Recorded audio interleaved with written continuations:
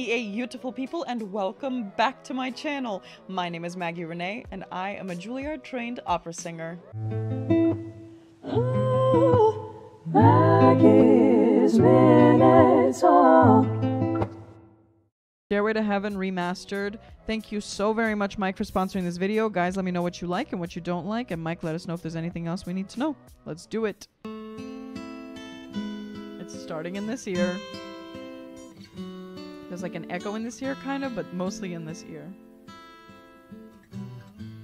Oof.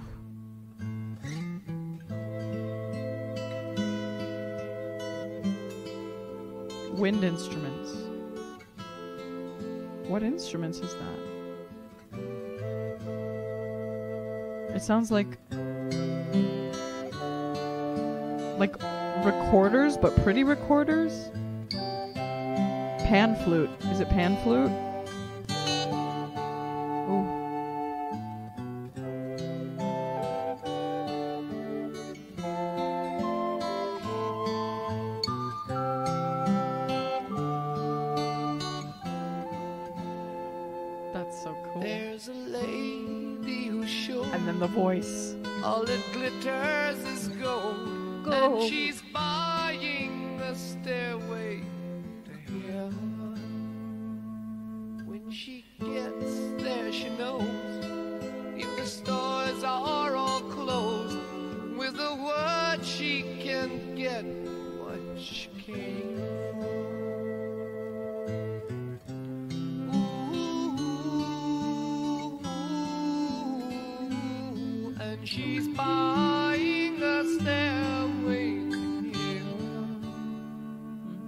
There's a sign on the wall, but she wants to be sure. Cause you know sometimes words have two meanings. It's interesting. What's the name of this vocalist? Is it the vocalist of Led Zeppelin? What is it? Robert? Is it Robert? Robert Plant? Wonder if the reef repeats too much? No, it does not, Roscoe. Let me see. Robert Anthony Plant is an English singer and songwriter, best known as the lead singer and lyricist of the English rock band Led Zeppelin for all of its existence from 1968 up until 1980, when the band broke up following the death of John Bonham, the band's drummer.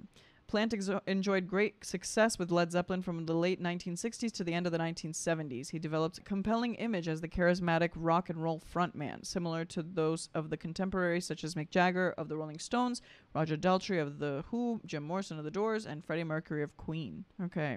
He has a powerful and wide vocal range. Hmm. Particularly evident in his high registered vocals. Okay. Has given Plant a successful singing career spanning more than 50 years. He was ranked on their number 15 on the 100 best singers of all time. Huh. Because the thing is, is that when I listen to him in this, he sounds, um, how do I say it? Like he sounds very unique, and the sound is very special because of how unique he sounds. But I'm not hearing like a whole lot of like incredible technique, you know, in this range. So it's kind of interesting for me to hear that because I was expecting a little bit more legato for this song, you know? The bassist Paul Jones made arrangements for the recorders slash flutes. He played them live on a keyboard instrument called the Mellotron. It's an instrument which plays a pre-recorded sound from a tape uh, uh, for each key on the keyboard. Check it out if you're interested. Many progressive rock bands used a Mellotron. Now they would be using a synthesizer, right? Or a MIDI keyboard? Yes, it was pre-synth. Got it. Okay. Let's keep on listening. I want to hear more. And she's buying a stairway. There's a sign on the wall, but she wants to be sure. Cause you know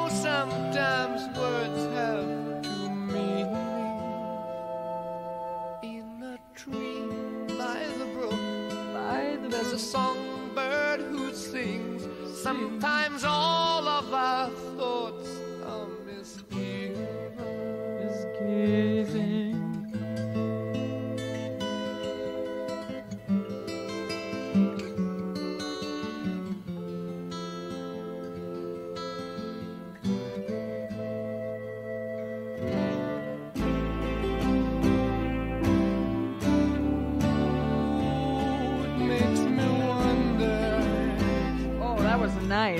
my gosh.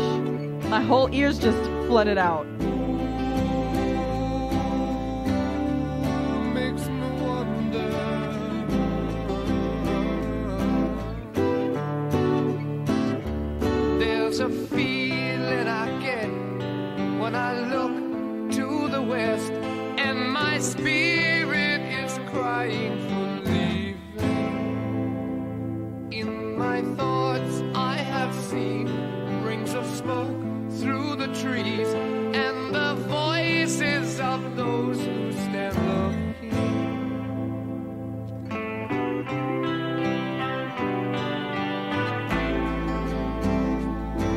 I will give it to him. I don't think a song has held my attention this closely in a long time. You know what I mean? Like I mean I've I've paid attention obviously, but like I mean like this this level of focus and this level of just like on something so kind of not simple per se, but something so drawn back while also being fleshed out. Does that make sense? Because it's so fleshed out and simple at the same time. I think that's why I'm really really focused on it and actually really processing it better than I do most songs that are especially like slower or simpler. So fascinating.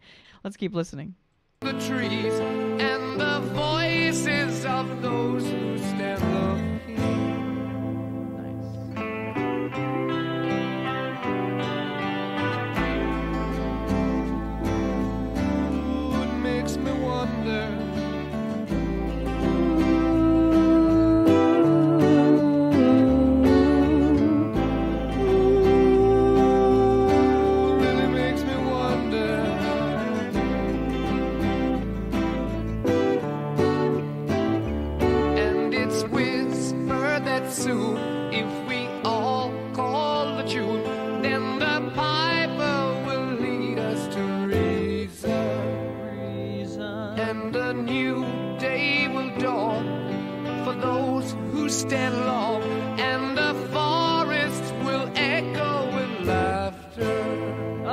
beautiful.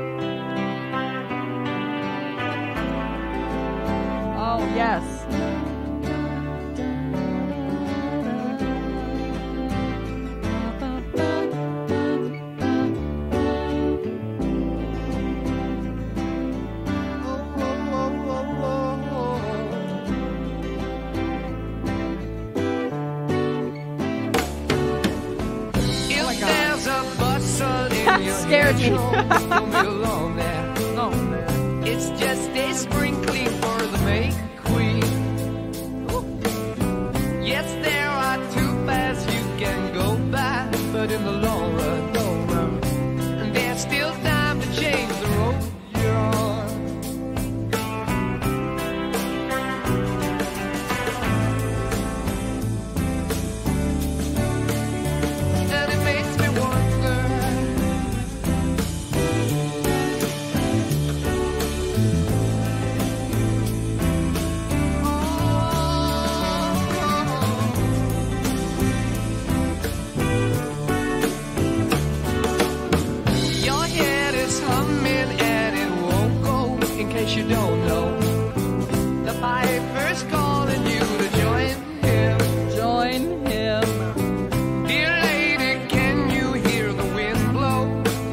that he's upper, he's in his higher range a little bit. I can hear more of the legato and the voice is carrying through. He's not using as much rasp, so it's less speaky. And now I'm hearing him sing through all the lines. So now, now I can hear the vocals coming through, and I like it. It's still a very unique sound. piper's calling you to join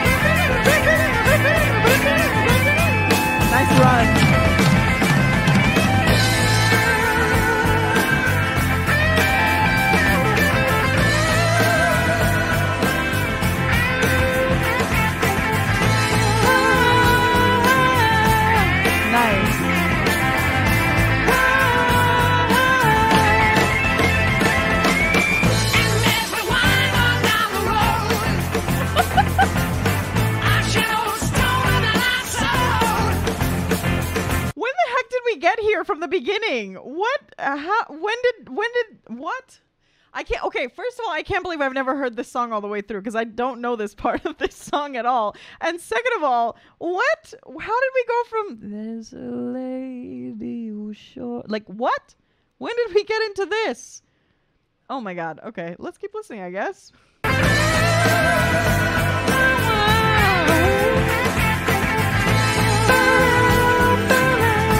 It is subtle.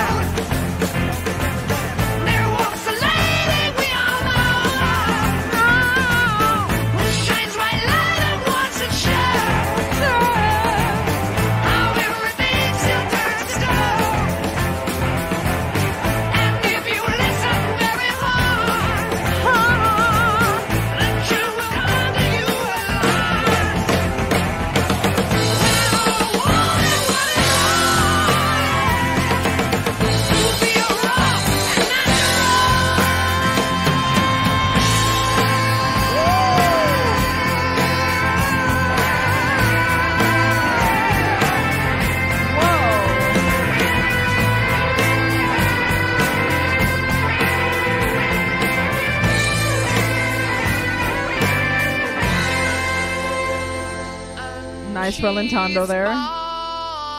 Buying a stairway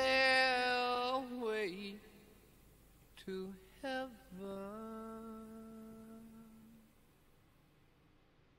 That's it? Oh my cheese. Wow, cheese muffins, y'all. Wow. I can't believe that I've never heard this song all the way through. That kind of breaks my heart a little bit because I've always said like, "Wow, the stairway to heaven," but I only know the bum bum bum bum bum bum bum bum at the very beginning. I didn't know. Whoa, that's wild. That is very very wild. I never expected it to go there. Holy cheese muffins. That's it. It was an eight minute long song. It didn't feel like it. It felt like it just kept, you know, it could have kept going to the next part. Oh my god. That was amazing. I could listen to that 700 times more. Seven times. I'm sorry, guys. I know everybody's going to say that now. Oh, that's beautiful. That is truly, truly beautiful. I like that a lot. Wow. I just never expected the song to go there. Like I knew the beginning, like I said, and actually the first time I ever heard it was when I was in my guitar class in like sixth grade. I learned the guitar because I was mad at the choir teacher for not like loving me more. so I went to guitar class and um mind you, we didn't really learn much. We just went into the practice rooms and played with chords on our own and taught ourselves the guitar. I'm basically self-taught on the guitar besides like a lesson that I had once. No, twice. I had two lessons, and he he taught me. That's how I made my hideaway. Actually, that those two lessons helped me create my hideaway. Um, not they didn't write it, but like they taught me a strumming technique, and then from that I was able to come up with the with the strumming technique for my hideaway. But anyway, that's a long thing to say. That's the first place where I heard that song because one of the guitarists was learning that first little intro lick, and then that's all I heard. so it's kind of funny. Oh my gosh, really, really beautiful song though. Ah, Maggie watches the Lord of the Rings directors and is like, "That's it. Yep, that's me." It's almost as good as Kashmir Close, but not quite. Ha! That's funny. I've not seen anyone to react to this song for the first time in 50 years, and for Maggie to be the next one was fabulous. It's so good. It's so good. I honestly, ooh, it's fascinating. All right. Thank you so, so, so much, Mike, for sponsoring that video. That was absolutely epical. I'm so grateful we got to do this because Lord knows I needed to hear it. Can't believe I hadn't heard it until now. That is hilarious. Thank you, thank you, thank you. If you enjoyed this video, please don't forget to like, comment down below what you enjoyed and what you'd like to hear next, and subscribe to join my BEA beautiful family. And don't forget to follow me on Instagram at Maggie Renee Music so that you can join me on all of my adventures as a singer living in New York City, studying at Juilliard, and traveling the world, taking you on stage and backstage with me. If you would like to support this channel, please consider becoming a patron on Patreon, where you can get exclusive perks and benefits. You can also hit the cute little blue join button to become a member of the Skittle Squad. Skittle Squad, let me hear you down below. Also, be sure to check out the links down below in my description so that you can see all the ways that you can follow me, connect with me, and support the channel. You can also go to maggierenee.com slash links to find all of the different places that you can visit, such as my Discord. Make sure you join the Discord, become a member of the Eyebrow Army, TikTok, Patreon, how to sponsor a reaction, my vocal course called How to Sing Better Instantly, and much, much more. Thank you all so much for watching, and I am sending you all so, so, so, so much love. And I will see you in the next video.